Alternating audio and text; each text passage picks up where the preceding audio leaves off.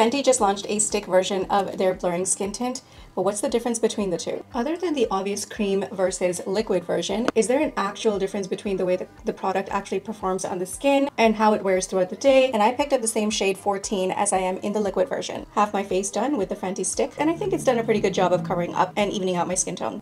This version matches my neck a lot better than the stick version. This is a little bit more has more warmth to it. This is a true olive shade, so even though the two shades are 14, it might be slightly different on you depending upon your undertone. I'm also noticing that the stick side has a little bit more radiance because of the creamy texture and emolliency. It's probably the dimethicone in this product, and it's done a pretty good job in blurring out my pores. Whereas the liquefied version is actually a little bit more matte. It's still giving me a skin-like finish. I guess the right word would be a satin matte. I only had moisturizer on with no primer, and both of these performed really well when I was spreading it on my face. I've done a dedicated in-depth video for each of them, so I'll put that link in the description box.